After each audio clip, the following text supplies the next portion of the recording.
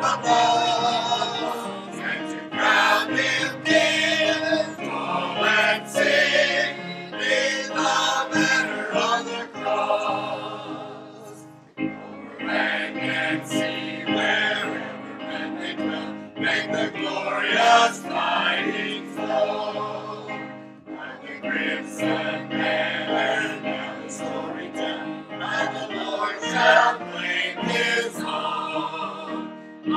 Marching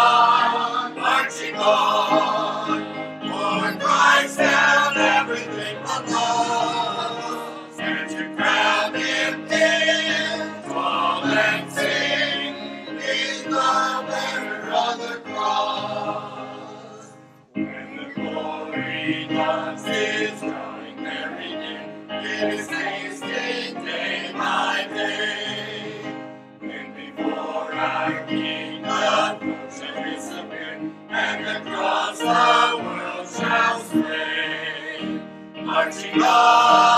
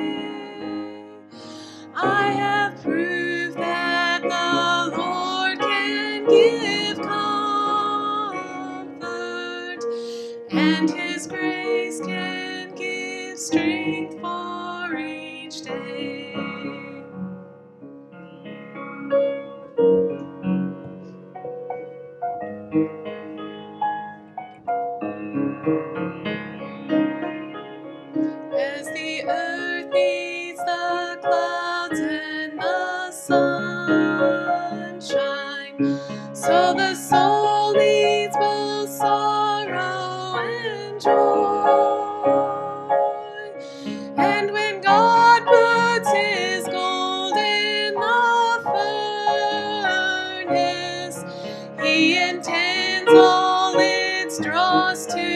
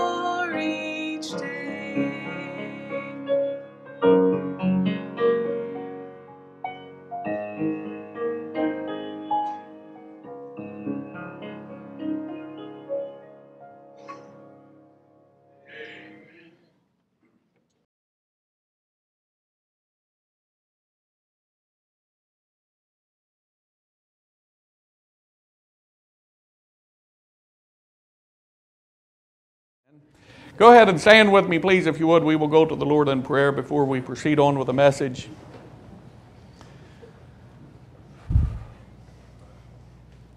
Father in heaven, as we approach thy throne of grace in prayer now at this time, Lord God, we ask, first of all, for forgiveness, Lord, for where we have sinned against thee and failed thee.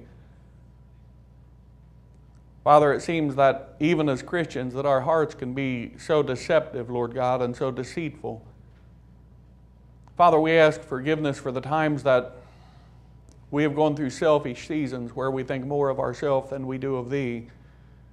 Father, Thou hast promised us in Thy word that Thou wilt keep him in perfect peace whose mind is stayed upon Thee. And Father, the truth is that so oftentimes our minds are not stayed upon Thee as they should be.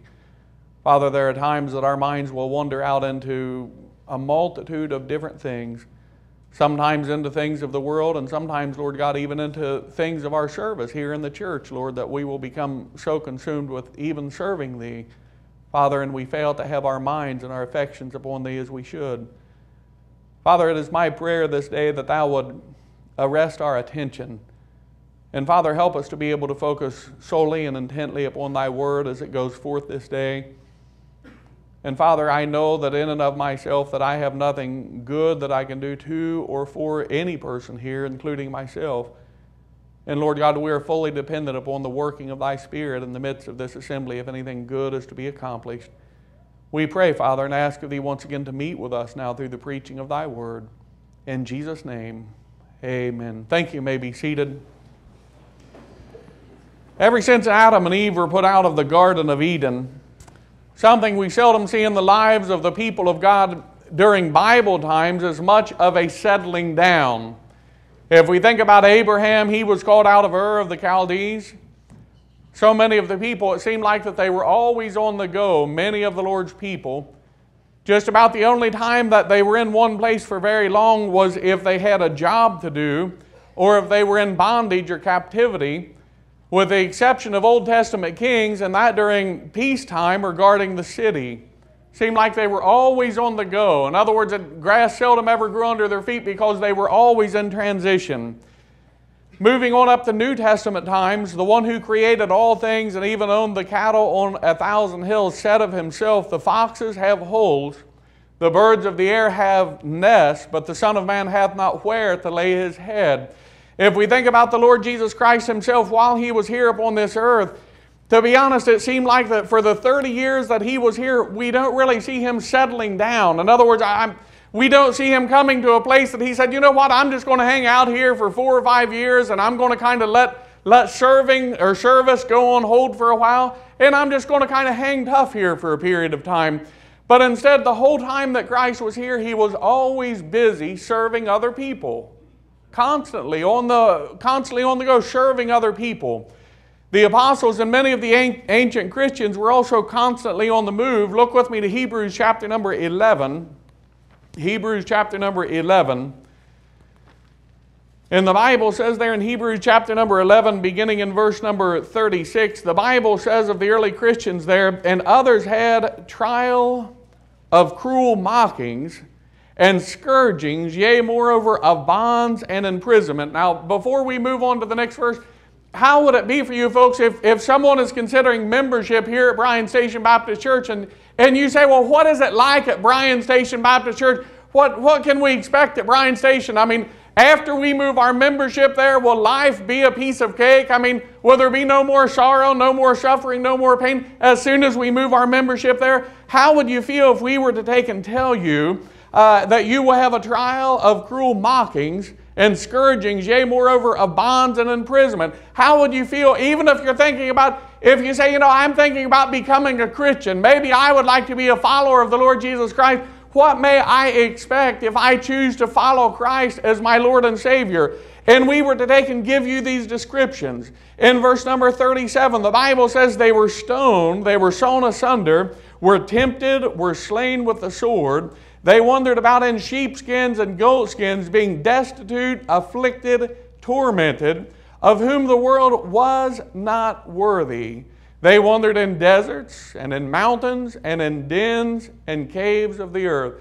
How would you like that if we print that up as a brochure for what you may look forward to if you become a follower of the Lord Jesus Christ. Now, beloved, the reason, of course, for all of these things, the reason was due to persecution. And the message today is not, not to say that it is wrong for Christians to own a home or settle down. What I'm trying to get across this morning is that as we look at the Old Testament people, as we look at the New Testament people, we seldom ever see them come to a place of rest for very long, physically speaking, if you will. And once again, today, I'm not saying that it's wrong to own a home or to settle down to a certain extent, but rather to show that spiritually speaking, spiritually speaking, we as Christians, we are on a journey. In other words, we have not yet arrived to our destination. We are on a journey, if you will. And also, we also see this many times in songs that have been written, Christian songs. Songs such as This World is Not My Home, I'm Just Passing Through. Now, I don't know, I, I, realize many of you folks have no doubt traveled, but if I'm out traveling someplace to another state and I need to stop at a rest area and, and, and use the restroom or whatever, I don't go into the restroom and sit there and say, you know what, I, I think I'm going to order a La-Z-Boy and have it delivered here. I think I'm going to order some new tile for the wall. I think I'm going to see about having this place here painted, or I think I'm going to see about having it decorated with a little bit different fashion. And the reason that I don't consider those things is because I know I'm not going to be there long. It's not my intent to spend much time there. In other words, I'm only there for a moment and then I'm moving on. You see, beloved, we as Christians, we're also on a journey. Once again, songwriters will write songs, This world is not my home. I'm just passing through. Another song that has been written, I'm pressing on the upward way, new heights I'm gaining every day. In other words, there's progress being made. They're pressing on. It is not that they're taking and putting down roots here, but they're pressing on. Another song that has been written, On Jordan's stormy banks I stand and cast a wishful eye to Canaan's fair and happy land where my possessions lie. Another song that had been written Guide me, O thou great Jehovah, pilgrim through this barren land.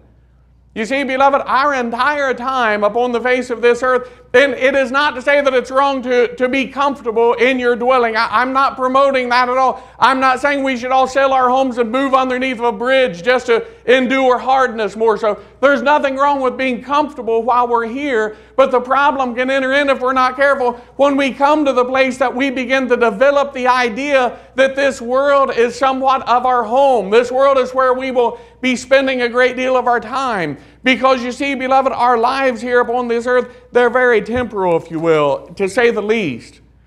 I believe that this was the thought being expressed by the Spirit of God. If you look with me in your Bibles to Philippians chapter number 3, Philippians chapter number 3, beginning in verse number 10. Philippians chapter number 3 and verse number 10. The Bible says there in, the, in Philippians chapter number 3, beginning in verse number 10, that I may know him and the power of his resurrection and the fellowship of his suffering, being made conformable unto his death.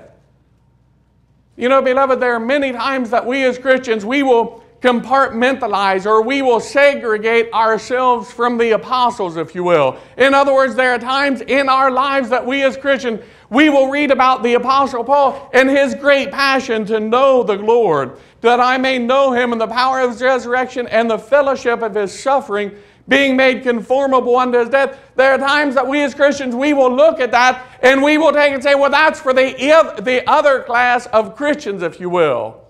That's for the other half. That's how the other half live. In other words, there are some people that they're so sold out, they're so dedicated in their service, Lord, and that's how they live. But for me personally, I have my own little comfort zone, and I, I, I appreciate Paul's fervor.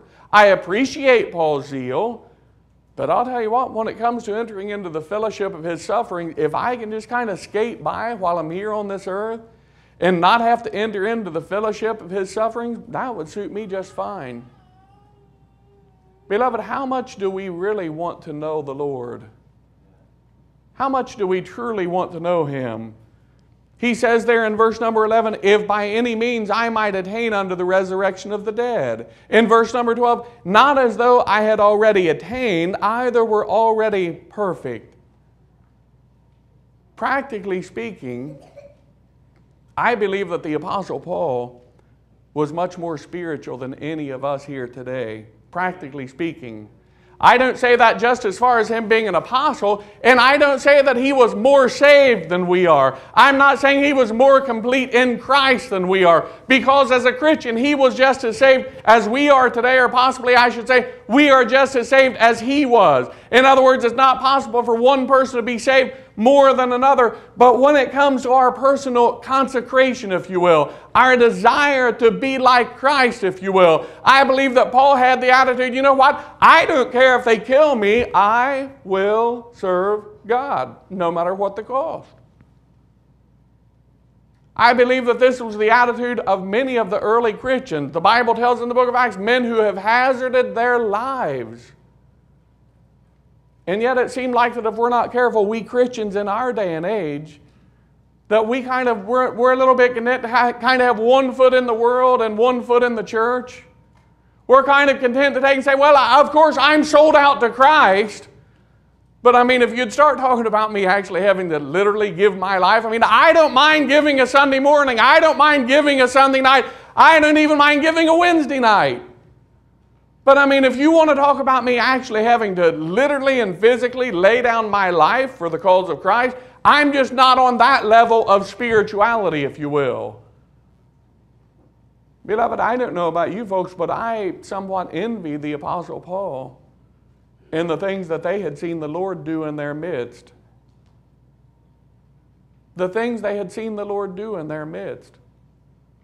In other words, I envy people sometimes that, that I count to be super spiritual people, and yet we must realize at the same time that the reason that we are not more where they are now, I'm not talking about apostolic gifts, but the reason that we are not where they are is simply because we choose not to be there. Our lack of sanctification, personal sanctification, it's not because the Lord is slacking off on the job. It's not because we're so hard headed that the Spirit cannot move and work in us. In other words, we cannot blame the Lord. We cannot blame His Spirit if we're not more committed, more sanctified to the Lord than we are, but rather we only have ourselves to blame. The Apostle Paul, when he considered himself, he says, Not as though I had already attained. In other words, Paul realized there's still work to go. There's still ground to cover in my service of the Lord. Not as though I had already attained, either were already perfect, but I follow after, if that I may apprehend that for which also I am apprehended of Christ. You know, beloved, it seems like that if we were to go around and ask Christians today, right here in our very auditorium, are you perfect? Now, we're not talking about the positional sense of salvation. If you're here today and you're saved, you're perfect in the sight of Christ. But what I'm talking about, if you will, is the practical aspect of sanctification. And it seemed like that there are times that we come to the place that we take and kind of feel like, well, you know, of course I wouldn't admit out loud that I'm perfect. But to be honest, I didn't see much more sense to strive for personal holiness or spirituality because I feel like I've arrived. Of course, I wouldn't tell others that because that would sound boastful or proud or arrogant. But I just kind of feel like I've arrived. I feel like I've come to the place in my spiritual life that I can look at other people and maybe even look down on them a little bit because I feel like I have arrived. You see, none of us would take and say that we're perfect, but oftentimes the attitude that we convey in our quest for spirituality is one that we feel kind of like we have arrived. There's no more pressing forward, if you. Let me tell you, folks, something. If the Apostle Paul had the attitude that he had not yet arrived, if the Apostle Paul had the attitude that he had not yet attained, if that was the Apostle Paul's thinking, how much more should it be our thinking to realize that none of us have yet arrived? And if you're here today, I don't care if you're a member of the church, visitor of the church, if you're here today and you feel like that spiritually speaking, in your personal commitment with guys, I've arrived. There's no more striving to do. He said, Not as though I had already attained, either were already perfect, but I follow after, if that I may apprehend that for which also I am apprehended of Christ. What is that all about? Service a quest for the Lord. He says in verse number 13, Brethren, I count not myself to have apprehended.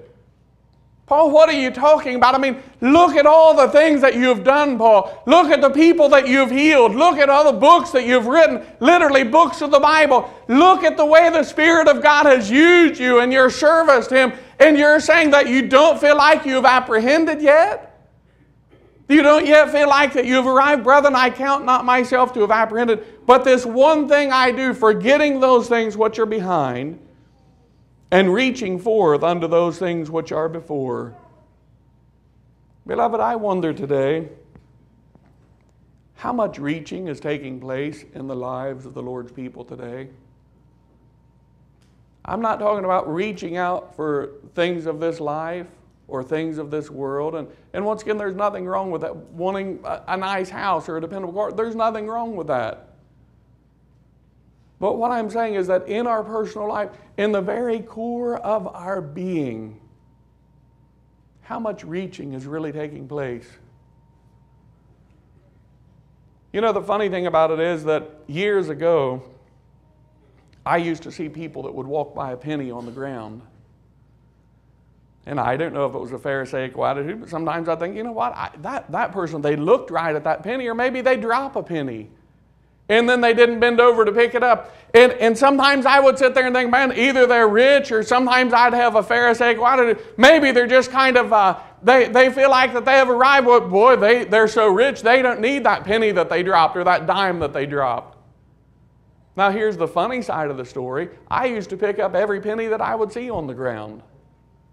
But you know what? As I get older and my back hurts more, sometimes now when I see a penny, I say, man, I'm sorry, it's just not worth the pain. It's not worth the struggle. It hurts when I bend over. I'll, I'll, leave that for someone else. And it's not that I don't need the penny, but as I weigh the benefits, as I sit there and I say, you know what? If I bend over to pick it up, it's going to hurt my back. And so therefore, I think as I weigh the benefits of the, the pain compared to the value of the penny, I say, leave the penny there. And you see, beloved, the problem is that sometimes we as Christians, we will begin to weigh the benefits. We will take and say, you know what? I could have better consecration or greater consecration, a greater drive or a greater desire to serve the Lord. But as I consider the cost of it, I don't know if it's really worth it. As I consider the things that it will cost me, whether it's something as simple as Bible reading and prayer time, whether it is something as simple as setting aside a portion of our day to meditate upon the Lord, to tune out all of the things of this life. Beloved, I believe that meditation upon the Lord and things of the Lord is something greatly lacking in our day, where you will go into a quiet room and you're not there necessarily to offer your petitions up before the Lord and give Him your wish list, but where you go into a quiet room and you turn the TV off you turn your phone off, you remove all distractions, and you sit there and say, I'm going to focus upon the Lord and the Lord alone for the next, it can be 30 seconds, it can be five minutes. But you know what? We're all so busy.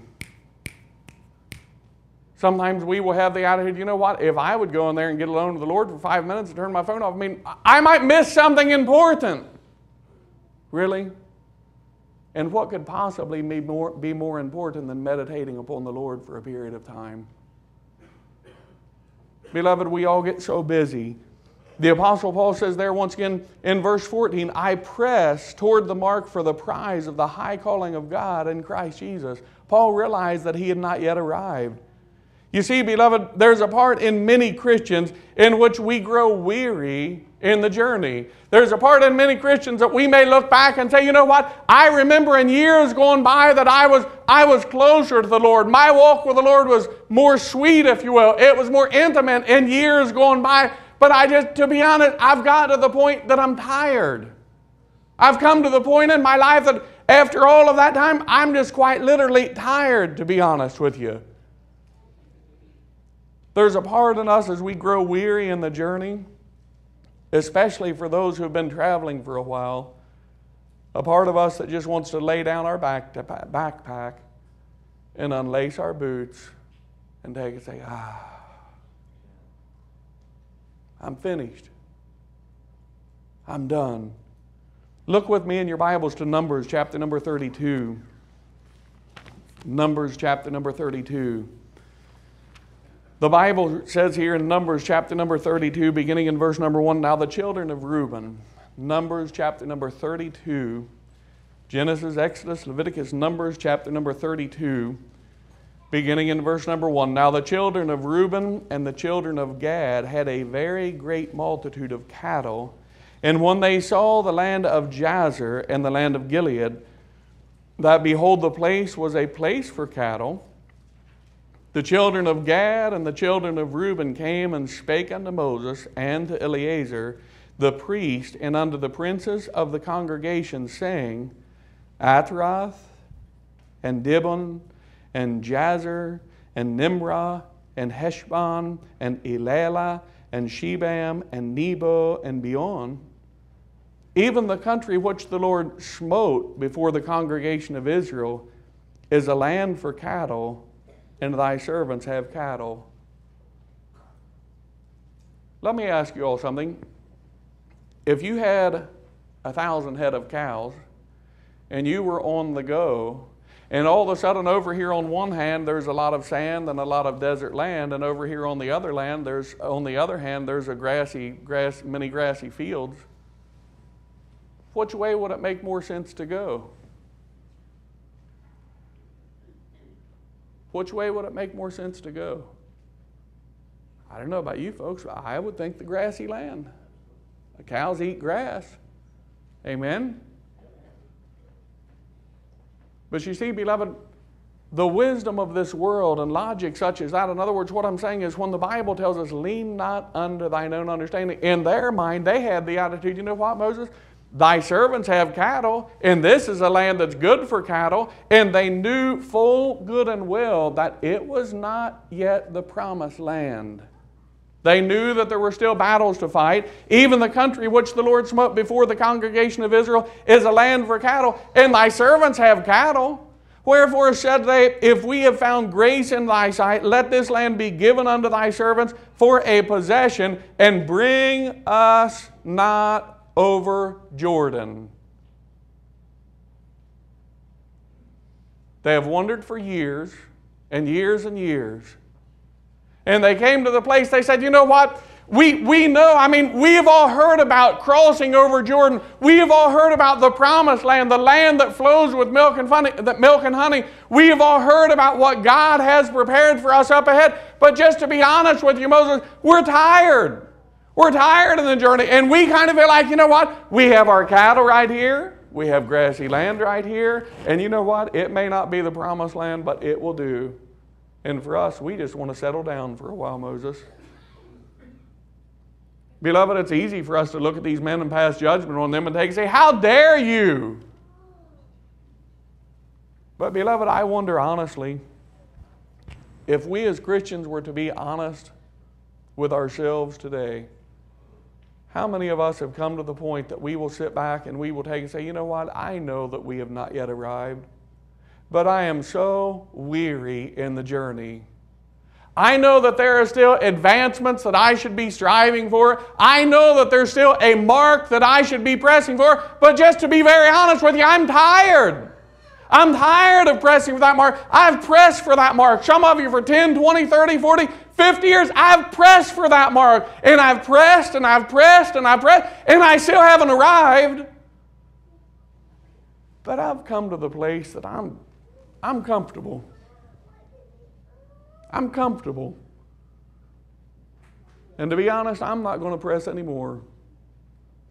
I'm going to sit back and I'm going to coast for the rest of my journey into heaven. We have wandered and wandered and wandered in the promised land.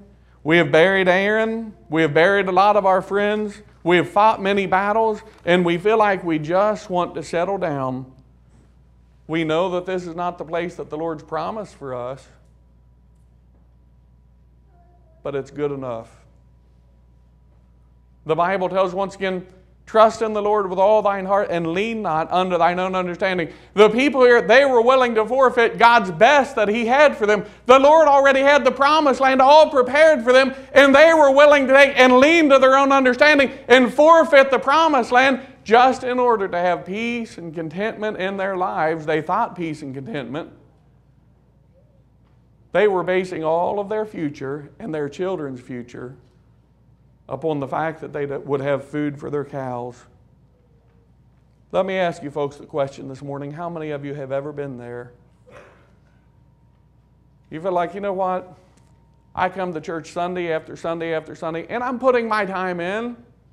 I bring my Bible and I open it when you give us a passage to look to. When we sing a song, I open the book and I sing a song. And you know what? I, am doing what I need to be doing. I'm going through the motions. But as far as striving for anything else, as far as really looking or seeking for a meeting with God, I've sought one and sought one and sought one, and I'm tired and I just don't care anymore. Beloved, I fear that there are times that we reach these points in our walk with the Lord. We know that this is not the promised land, but we're tired and we have the attitude that it will do. We have the attitude, while this may not be the mark that I've been pressing for for years, it will do. There are times that we may come up with the attitude, you know what? You don't understand what it's like, Brother Spears. This is a lie straight out of the pits of hell. That there are times that, there, that we will come to the place that we will blame our apathy and we will say, well, you know what? You don't know what it's like, the things I've been struggling with. You don't know what it's like, the things that I've been through. So therefore, I'm just going to go ahead and sit back on my laurels and not do anything whatsoever. Trust the Lord for the rest of the trip. There's no more need for me to strive. I've striven enough. Beloved, there is a test for each of you to take today to find out if you have striven enough yet or not. Here's the test take your right hand and put it over here on your left wrist and see if you still feel something there in your wrist. Now, hopefully, you will feel a heartbeat. And if you don't, Brother Randall, bring the defibrillator down. Amen. If you still feel a heartbeat there in your left wrist, then there's still the mark to be pressed for.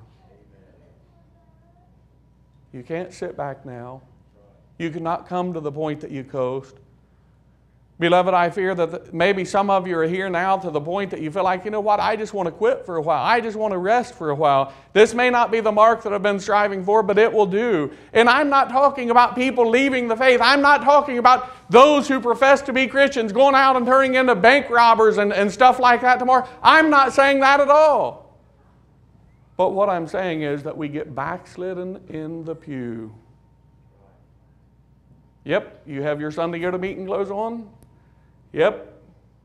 You have your Sunday go to meeting shoes on. Yep. You dusted off the old Bible this morning. Yep. You open the hymn book. You can check all those off. But in the depths and confines of your heart, you're backslidden in the pew. You telling me I'm backslidden? I'm here in church. How dare you tell me I'm backslidden? I'm not telling that you're backslidden. What I'm saying is examine yourself. And are you still pressing for the mark, if you will? We come to the place that we have the attitude, I'm just going to hunker down. After this much time in battle, I just want to go ahead and at least take part of my inheritance now because I feel like that I have earned it. Look with me in your Bibles to Galatians chapter number 6 and verse number 9. The Bible says here in Galatians chapter number 6 in verse number 9. Galatians chapter number 6 and verse number 9. The Bible gives us very clear cut instructions there, and let us not be weary in well doing. You know what, beloved? There's also a lie that comes from the devil that there are times that we will reach the point that we feel like, you know what, if we're doing well, there wouldn't be any weariness involved. Let me tell you something. There is weariness involved in well doing. Maybe you say, well, Brother Spears, I disagree with that. I don't believe that there's weariness in well doing. Well, then you need to have a little talk with the Lord and tell Him we really didn't need this verse in the Bible. The Bible says there once again, and let us not be weary in well doing. Beloved, I wonder how many of us are weary today. How many of us have come to the point that we've just kind of laid aside our gear and now we're laid back taking it easy? Let us not be weary in well doing, for in due season we shall reap if we faint not. You see, beloved, God is the one who controls the seasons when they come and when they go, and He is also the one who determines when the due season is. Some of you men who are hunters here, maybe you feel like, you know what, I think deer season should come in a day earlier, go out a day later. Won't be long, amen? But you know what? There are people who they say that they know what's going on and they've studied the deer and they kind of take say, well, you know what? This is the time that they ought to be hunted. You ought to be able to hunt from this time to this time. And that's the best all around. That's what they say. Now, I don't know if they always know what they're talking about or not, but you know what? When our Lord and God up in heaven, when He appoints the seasons, when they come and when they go, I know that He is always right with His appointments of the seasons, if you will. He's always right. Be not weary in well doing, for in due season we shall reap if we faint not. Possibly you're here and you're on the verge of fainting, if you will. Spiritual fainting is a choice, and it is a choice made by you. It's a choice. If you're here today and you feel like, you know, I, I, feel like I've fainted spiritually, I feel like it's been a day ago, a year ago, 20 years ago that I've kind of laid my gear aside, I quit pressing for the mark, I quit reaching for it, and I'm not really pressing. I'm just kind of here floating along now, just going through the motions, if you will. Brother Spears, won't I get to heaven if I just kind of roll on and go with the flow? If you're a child of God, you'll get to heaven. But I'll tell you what, you'll be ashamed before Him. You'll be ashamed. Beloved, spiritual fainting, once again, it is a choice. And if you choose to faint spiritually, then it is because you choose to do so. What I mean is that God gives to us all that we need to run the race. And if we fail or faint, it is never because the Lord has ill equipped us, but rather it's because of the way that we have chosen to live our lives.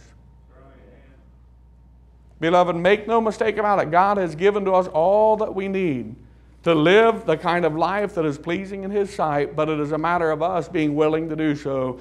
The Bible tells in Isaiah chapter number 40, in verse number 31, a verse that many of you hopefully have memorized. The Bible says there in Isaiah chapter number 40, in verse number 31, But they that wait upon the Lord shall renew their strength. Now, beloved, is the Bible true? We would all say, yes, Brother Spears, of course the Bible's true. If the Bible be true, then the Bible says, but they that wait upon the Lord shall renew their strength. Maybe you're here this day and you're weary in the battle, you're weary in the fight, and you feel like, I'm just too tired to go on. Then wait upon the Lord. And what does the Bible say will happen if you will wait upon the Lord? But they that wait upon the Lord shall renew their strength. Brother Spears, how long do I have to wait upon the Lord? The verse doesn't tell us that part. But it says, Wait upon the Lord. But they that wait upon the Lord shall renew their strength. They shall mount up with wings as eagles. They shall run and not be weary, and they shall walk and not faint. Wait upon the Lord. Wait upon the Lord. Beloved, the thing about it is, is when we come to the place I don't know how many people have this problem, but there are times that I will feel like if I have a large job ahead of me, and I'll feel like, you know what, I'm tired. And to be honest, sometimes I get a little bit shaky, it seems like sometimes. But I may feel kind of tired and I'll feel shaky and I'll think, you know what, I'm just going to go ahead and I, I don't, I'm just going to press on and I'm going to finish the job. And to be honest, if my wife knew what I was going through, she'd probably take and say, honey, sit down, take a break, let me bring you a glass of tea and, and some a snack. But sometimes I'll feel like, you know what, the sun's going down and I'm going to get this done. Now watch me drop over dead over a pile of firewood sometime this week, amen? But sometimes I'll have the attitude, I'm going to get this done if it kills me. I'm not going to take a break. I don't have a time to take a break. I don't have time to do that. You know what? There are many people that they have the attitude in their service, Lord, I don't have time to wait upon God. You say, Brother Spears, what kind of person would have that attitude? King Saul did when he was waiting on Samuel. I don't have time to wait upon Samuel to come over here. I'm going to go ahead and take matters in my own hands.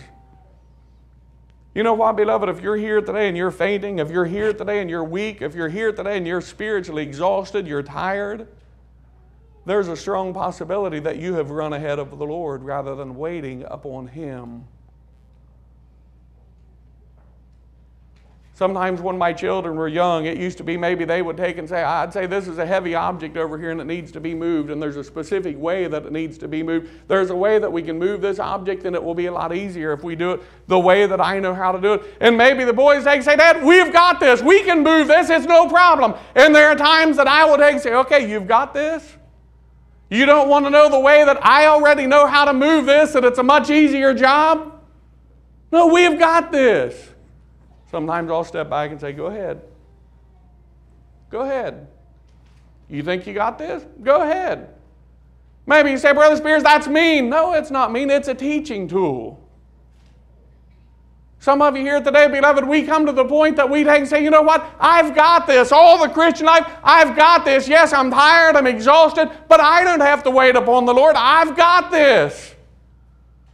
And there are times that the Lord will allow us to get more and more exhausted, more and more tired, more and more weary, because we're not casting all of our burdens upon Him.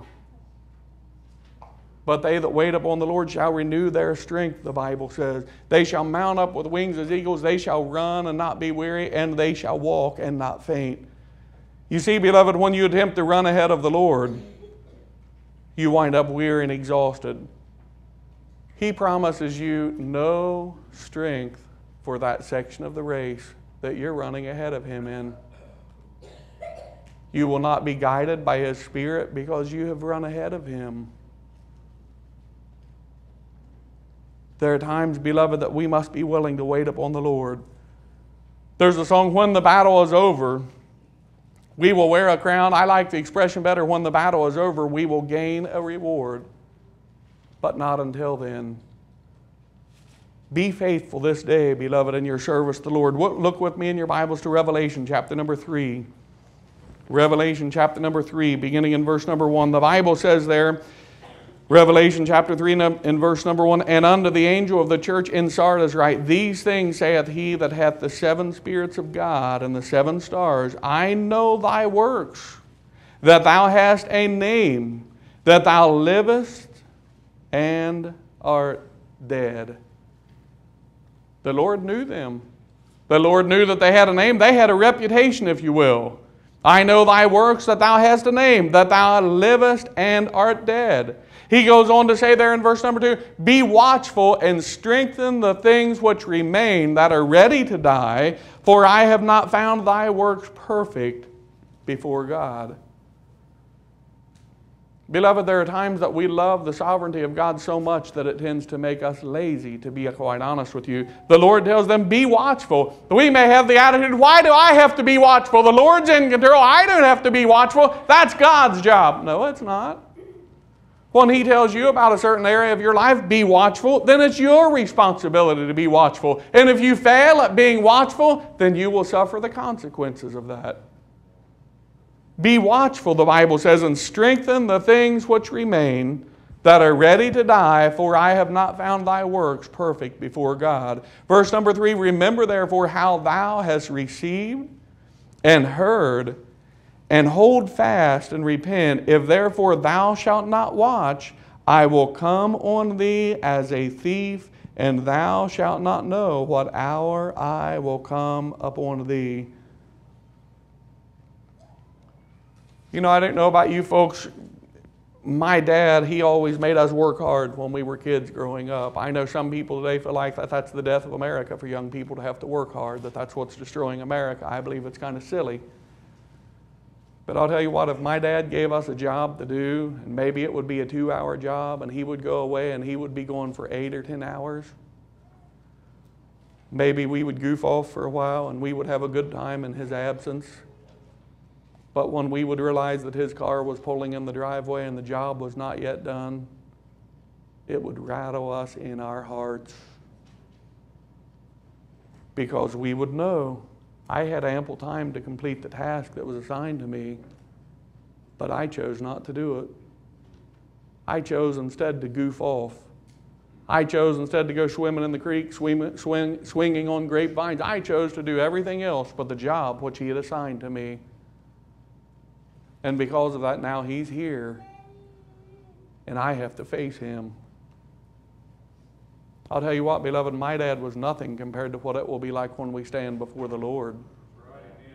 My dad was but a man. But one day I fear that when we stand before the Lord that we will have that feeling times a million. He says there in verse number 4, Thou hast a few names, even in Sardis, which have not defiled their garments, and they shall walk with me in white, for they are worthy. Verse number 5 He that overcometh, the same shall be clothed in white raiment, and I will not blot his name out of the book of life, but I will confess his name before my Father and before his angels. He that hath an ear, let him hear what the Spirit saith unto the churches. Beloved, once again, maybe you're here this day and you're weary, you're tired in the journey. Maybe you feel like I just want to go ahead and take part of my inheritance here. I know that I'm a Christian. I know that I'm trusting the Lord for salvation, but I'm so weary and I'm so tired. And to be quite honest, I'm tired of waiting on the Lord. I'm going to go ahead and kick back and relax. While we were there in Virginia, we hiked up to a point in the mountain called McAfee Point.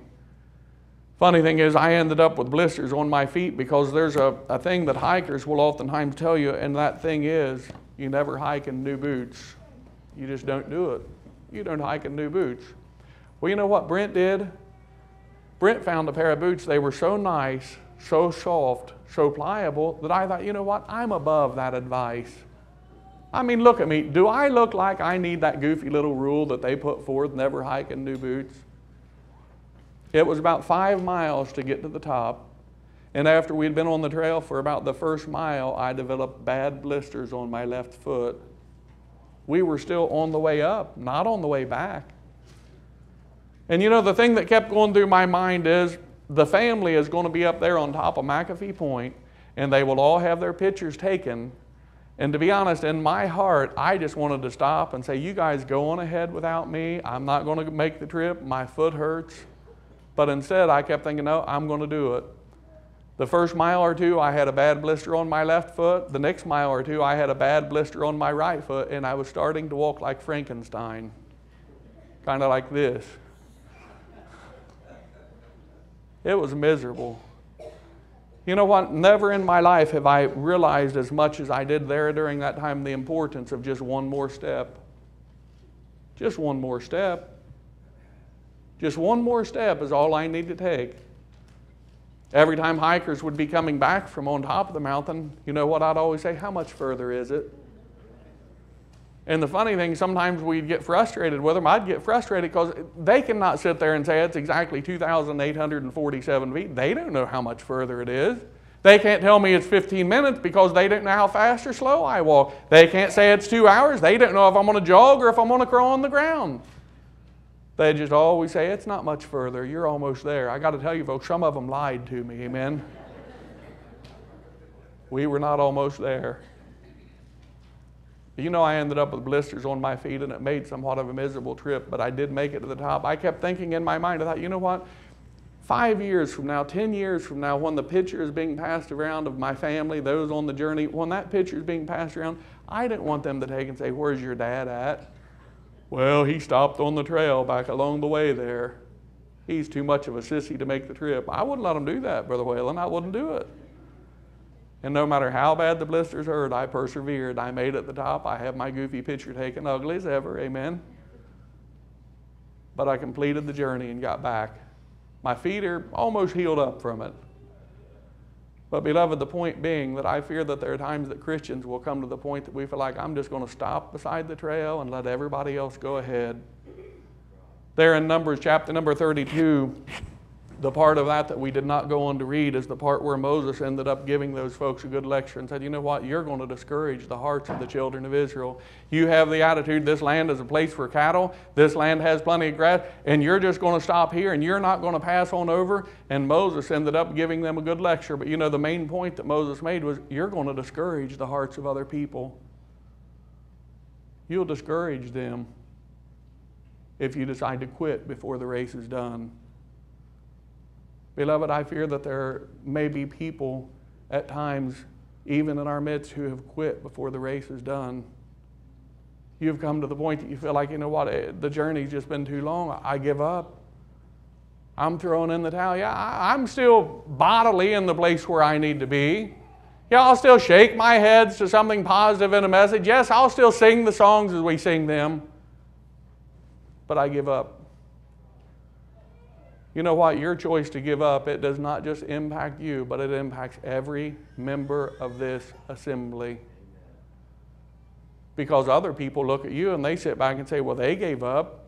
I mean, look how strong they are. They're an experienced runner, they're an experienced hiker, they're an experienced Christian. And you know what? If after all the years of them serving the Lord, they came to the place that they gave up, what's the point of me even trying? Why should I even try? Beloved, be not weary in well doing, for in due season we shall reap if we faint not. Brother Ardrey, if you'll come.